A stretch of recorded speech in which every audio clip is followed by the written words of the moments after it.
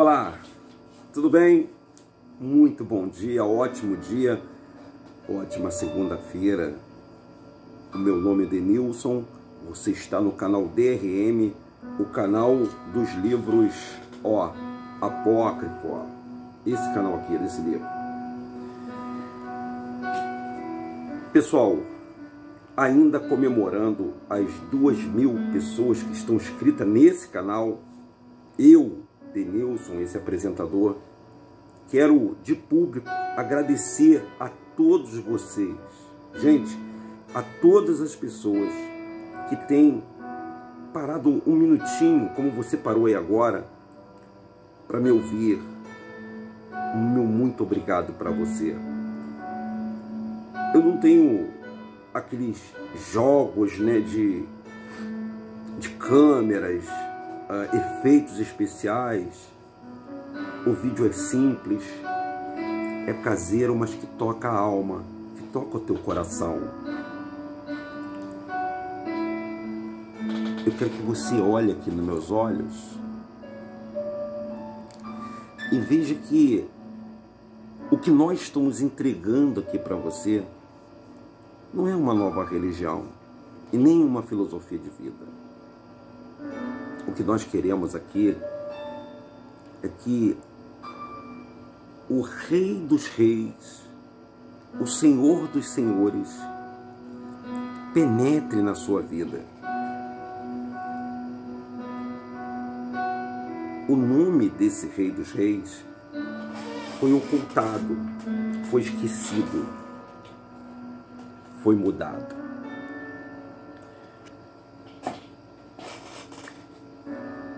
É muito difícil a gente calcificar uma mente cauterizada por uma ideia mentirosa.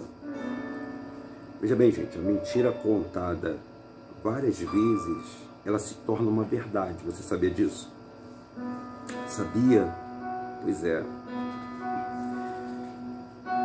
E a maior mentira que se contaram até hoje, estão se contando aqui até hoje, no mundo e na América, é que o nome do Salvador é Jesus. Isso está envolvendo muita gente grande, gente. Teólogos, psicólogos, está envolvendo padres, está envolvendo a igreja católica, está envolvendo as igrejas evangélicas, está envolvendo todos os tipos de religião, porque todas elas falam do nome de Jesus. Eu me atrevo a dizer que esse nome Jesus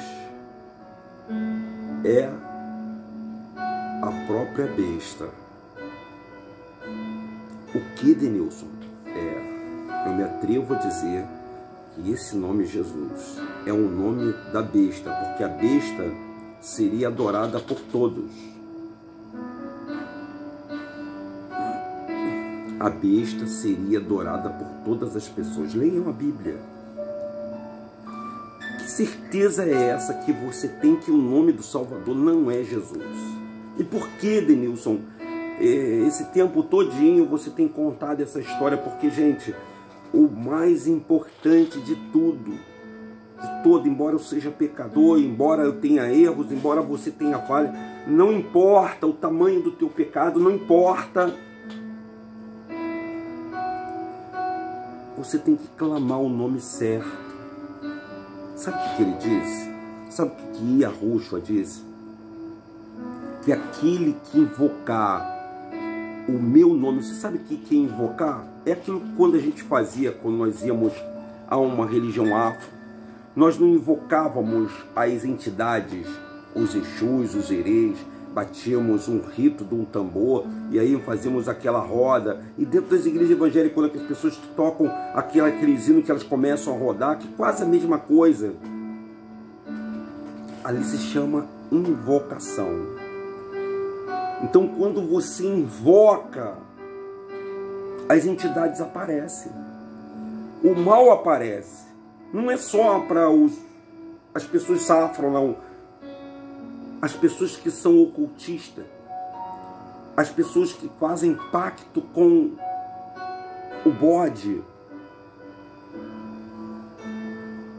As pessoas que fazem pacto com o Lúcifer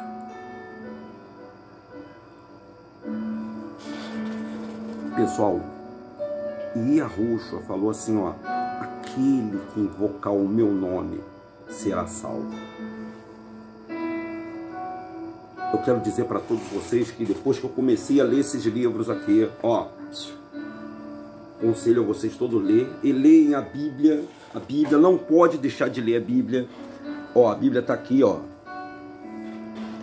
Não pode deixar de ler a Bíblia, não pode deixar de ler a Bíblia, porque muito embora os padres, os concílios mudaram data, mudaram nome, né? Você pega na Bíblia aqui tá os nomes todos abrasileirados. Muito embora aqui contenha a verdade. E qual é a verdade, Deus? A história do Jesus, que é contado na Bíblia, é verdadeira? Toda a história é verdadeira. A história do Messias é verdadeiríssima do Jesus Cristo que é contado dentro da Bíblia.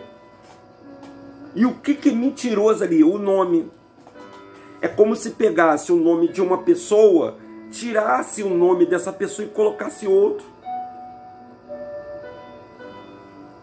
Foi uma mudança sutil. Veja bem, a igreja primitiva, ou a igreja, a, a igreja católica, no seu início, né, quando ela era totalmente poderosa, ela perseguia e matava quem acreditava em Yahushua, ou em qualquer outra religião. Era bruxo para ela. O diabo ele mudou a tática, gente. Ele viu que ele perseguindo, batendo, mais crescia. Porque assim funciona conosco. Quanto mais você persegue a gente, tem gente que entra aí no vídeo aí, coloca vídeo pornô, fala que é mentira, fala que eu sou um herege. Mas quanto mais você persegue, isso para qualquer coisa na vida, gente. Porque nós somos o povo hebreu. Quanto mais você nos bate, mais a gente vai crescer.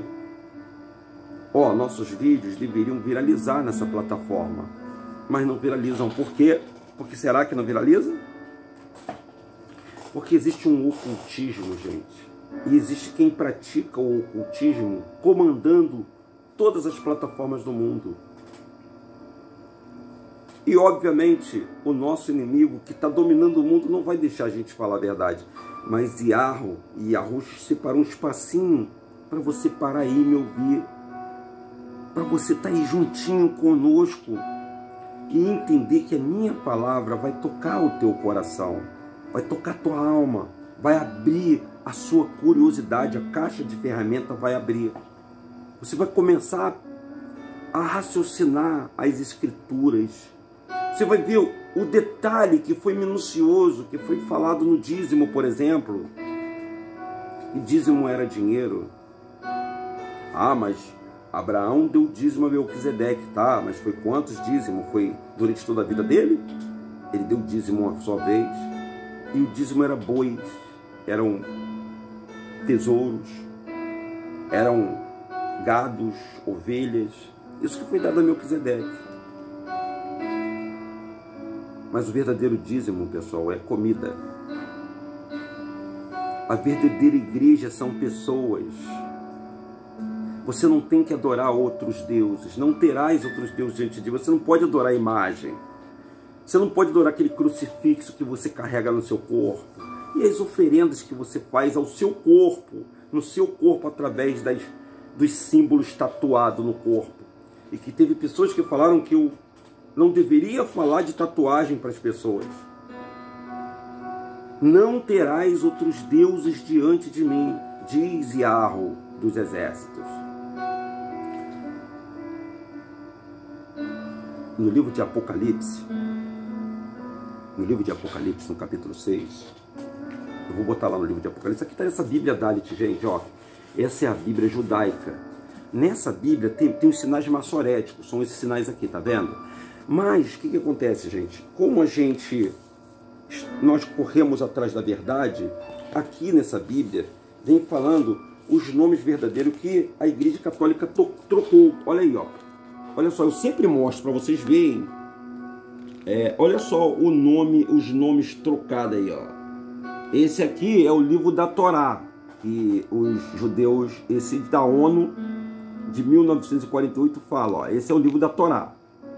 Esse aqui são os profetas menores, né? Que você conhece, todos os profetas menores. Esse aqui, gente, opa, caiu o óculos aqui. Deixa eu pegar o óculos aqui, só não pode ter quebrado. Só não pode ter quebrado. Ao vivo é complicado. Tudo acontece ao vivo. Quando cai o celular, cai o óculos. Ó, aqui tá, estão os nomes do Novo Testamento, ó. Os nomes do Novo Testamento, tá vendo aí? A Brid Hadashah, que eles falam, né, dos judeus da ONU, esse que estão lá na faixa de Gaza. E esse aqui são os livros ah, que completam o canon da Bíblia. Então esses nomes aí que você viu, esses nomes foram todos transformados nessa Bíblia aqui. Que você olha ela, você vê, olha essa Bíblia, olha só, olha a diferença. Tudo é brasileirado, ó. Todos os nomes brasileiros. E como esses nomes são verdadeiros se o Brasil foi descoberto em 1500? Tá, o Brasil não foi descoberto em 1500? Aí, como é que esses nomes são verdadeiros? Se essa história já se passou muito tempo antes de 1500. É só para você começar a pensar. Então, pessoal, olha só, ó, aqui, ó. Livro de João, Timóteo, aqui, ó, aqui, pessoal, ó. João, Timóteo, todos esses nomes aqui, tá vendo? Tem alguma coisa de Yahushua aí, de Yahushalaim, tem alguma coisa dessa língua, mas Denilson, sou obrigado a falar língua nativa. Você é obrigado a falar língua nativa quando se trata de substantivo, de nomes próprios. Alô, meu povão! Alô, pessoal que está indo para as religiões, para a igreja, você está sendo enganado, pessoal. Você está sendo conduzido para ir para templos e aí lá você recebe uma lavagem cerebral, lobotomia é o nome da palavra.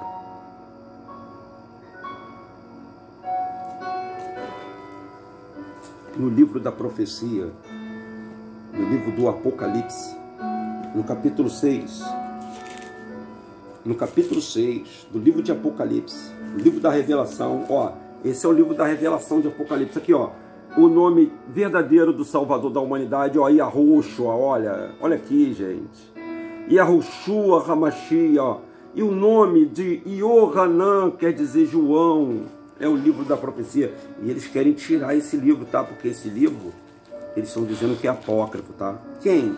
Os concílios de Roma, gente, é, eles vão tirar esse livro para ninguém mais falar sobre Apocalipse. Sabe por quê? Porque um povo desinformado, é um povo cego. E um povo cego é um povo que vira pagão. E é isso que está acontecendo com a nação brasileira. É pagão, pagã. Isso quer dizer pagão. Olha aqui, pessoal. Tá vendo aqui? Ó, tá vendo aqui? O sexto selo, tá vendo o sexto selo? Não aconteceu ainda ele, nós estamos nesse selo aqui, ó. Nós estamos no quarto selo. Deixa eu colocar aqui para você aqui, ó. Nós estamos aqui, ó, no quarto selo. Cadê o quarto selo? Ó? Nós estamos aqui, ó, no quarto selo aqui, ó. Tá vendo? E qual é o quarto selo, Denilson? Tá dizendo assim, ó, no quarto selo. Quando rompeu o quarto selo, ouviu uma voz do quarto animal dizer: Vem! Olhei e eis que um cavalo amarelo que estava sentado sobre ele, cujo nome era Morte, e o inferno seguia, e foi-lhe dado poder sobre a quarta parte da terra. A quarta parte da terra está aqui, ó. A quarta parte da terra, olha aqui, ó. Ó, a quarta parte da terra. Tá aqui, ó. Quarta parte da terra. Tá vendo aqui? Quarta parte da terra. Então, essa quarta parte da terra ela foi, ela está recebendo agora a profecia de que se matasse pela espada, pela fome, pela peste, pelos animais selvagens. Olha, pela peste eu já nem vou dizer mais que está muita gente morrendo pela peste aí. Correto? Tá tudo certo? Agora, pelos pela fome. Tem gente morrendo de fome hoje aí, aqui? No Brasil, no mundo, tem gente morrendo de fome? Tem! Mas aqui, mais aqui na América, seria inadmissível, gente. Olha só, vamos raciocinar, gente. É simples. A comida que o Brasil produz, gente. Não, não teria um brasileiro sequer com fome. Um, um sequer. Gente, a quantidade de gado a quantidade de carnes, de aves que a, a, a TV aberta mostra isso na nossa cara, gente. Por que que as pessoas estão morrendo de fome onde tem muita comida? Me fala por que, gente? Por favor, me fala. Por que, que as pessoas estão passando necessidade num país agrícola, num país que tem é o país celeiro do mundo, se não for uma maldição que está caindo sobre o povo aqui. E esse povo, enquanto eles não acordarem, se você continuar indo para a igreja, rezando a esse Deus Moloque, a esse Deus Jesus, a esse Deus Deus, grego, romano, que infestou a nossa sociedade. E não é só eles não, os índios também oram pelo Tupã, pelo Deus fantástico. E você que vai para a maçonaria, que também adora o Gadu, o Buda, Somente a Ele, Rei dos Reis, adorarás.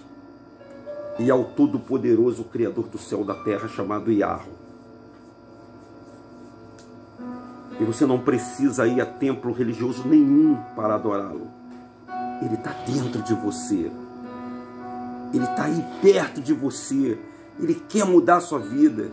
Você não precisa da dízimo, não precisa da oferta, você não precisa da minha oração, da minha pregação, você não precisa de nada. Você é a criatura que ele criou única no universo. Você não existe em lugar nenhum a não ser aqui. E só você, com o livre-arbítrio, pode aceitá-lo.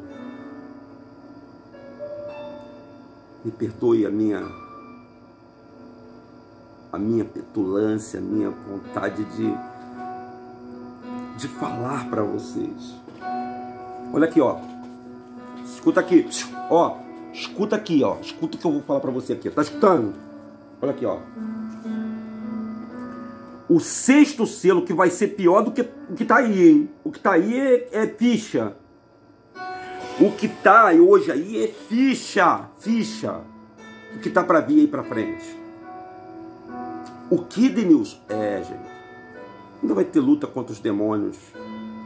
Vai ter zumbis ainda no mundo aí, que vocês não sabem disso. Mas vai ter zumbis, tá? Porque esse quarto seu aqui, ó, tava animais selvagens. Vocês já ouviram falar da raiva? Vocês já ouviram falar da raiva? Já? Aguarde os próximos capítulos que eu tenho algo para falar para todos vocês. Esse, é, essa, essa pandemia já está agindo no mundo, tá? Ela já está andando, tá a caminho, porque a profecia, o Pai já liberou. Agora, gente, aqueles que são blindado, forjado no poderoso nome de Yahushua. Bom nessa palavra, né? Dá uma força, né? Tá tendo peito, cerrar a mão. Por que nós falamos assim? Porque ele é o rei dos reis e Arroxo é o Senhor dos Senhores. Esse, esse Jesus ele não pode usar esse título. Ele não pode usar esse título, não é dele, não pertence a ele, pertence ao meu Yahushua. A qual eu acredito que todos, todos os joelhos se dobrará, todas as pessoas irão ouvir de Yahushua, gente. E eu sou o propagador. Ele me escolheu cheio de defeitos, cheio de falhas, cheio de erro, barbudinho, hum, velho. Mas se você me ouvir, você que está aí, se você pelo menos se esforçar para pesquisar, pesquise. Por favor, pesquise, gente. Tem tanta coisa que eu queria dizer para você no nosso grupo. Nós temos um grupo do WhatsApp. Bota teu número lá. A gente vai dizer mais um pouquinho de coisa para você. Tem tanta coisa, gente. Tem tanta coisa que, olha, pessoal, você que está comigo novo aí, que está me acompanhando, pessoal do iFood, da entrega, pessoal lojista aí desse shopping na Barra, né? Pessoal, ó, beijo para vocês, vocês são maravilhosos. Pessoas maravilhosas que gentilmente se inscreveram no canal. Você que encontrou, nos encontrou pela internet, nas pesquisas, nas suas pesquisas, que por força de arro o, o YouTube permitiu que o meu vídeo viralizasse e que esse vídeo ao viralizar alcance você, seja você teólogo, seja você o que você for, grão-mestre, seja você até propriamente judeu, não importa quem você seja. E a Rúshua, ele é o rei dos reis. E ele fala contigo nesse momento. O sexto selo rompeu e houve um grande terremoto. Cenas dos próximos capítulos. Um grande terremoto irá acontecer na Terra, gente. Um grande terremoto irá acontecer na Terra, onde a Lua e o Sol desaparecerá. A Terra vai tremer, o Brasil vai pular igual pipoca, gente. Você não acredita nisso? Você não acredita? Você não acredita. Você não acredita. Mas eu sugiro que você comece a acreditar. Leia aí, ó, tá no seu, na sua Bíblia. Né? Qualquer Bíblia tem ela. Porque essa aqui é, é, é, a, é a Bíblia Dalit. Porque eu quero mostrar o nome do Salvador para todos vocês na Bíblia que os esses judeus que entraram em Israel, lá, aquela, lá na faixa de Gaza, porque a verdadeira Israel ela está submersa, gente. A Israel ela foi inundada depois do ano 70. Tito invadiu aquele local lá, destruiu os templos. Tito era o imperador de Roma. E ela está submersa, ela não está para pessoas pisarem nela. Ela vai emergir. Depois desse terremoto, ela vai emergir junto com o Monte Sião. Irá, irá acontecer um monte na Terra. Quem estiver vivo, né, vai ver esse monte, né, esse fenômeno que muitos vão dizer que é um, é um milagre, mas muitos vão saber que é o, o Monte Sião. Aqui, para encerrar aqui nossa, nosso videozinho, revelação de João, o teólogo. Está dizendo assim, lá no capítulo, na página 784, 785, se você tem aí, ó, São João Teólogo está dizendo o seguinte, então eu ouvi uma voz e me disse, ouça virtuoso João, eu enviarei os meus anjos por toda, toda a face da terra, que queimarão a terra por 8.500 cúbitos, e as grandes montanhas serão incineradas, e todas as rochas se derreterão e se tornarão como pó. Todas as árvores serão queimadas. Todos os animais e todas as coisas que rastejam sobre a terra. Tudo que se move sobre a face da terra e tudo que voa pelos ares. Não haverá nada que se mova sobre a face de toda a terra. E a terra ficará parada. Olha o que, que olha o que, que o rei dos reis falou para João numa revelação. E eu novamente disse: Senhor, e o que você fará depois disso? Então ouvi uma voz e me disse: Ouça, virtuoso João, eu revelarei aos, as quatro partes do Oriente e as quatro fortes fontes do vento que varrerão toda a face da terra de um canto da terra a outro o Senhor varrerá o pecado da terra, e a terra será branca como a neve, se tornando como uma folha de papel, sem cavernas e montanhas e colinas ou rochas, desde o nascer do sol até o caso, o acaso. A face da terra será como a mesa branca, como uma neve. E, o, e os reinos da terra serão consumidos pelo fogo ele chamará por mim, dizendo: Eu sou uma virgem diante de você, ó Senhor, e não há pecado em mim.